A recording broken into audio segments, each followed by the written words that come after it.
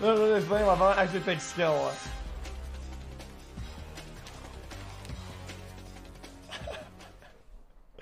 I was just beginning a little bit again. Oh,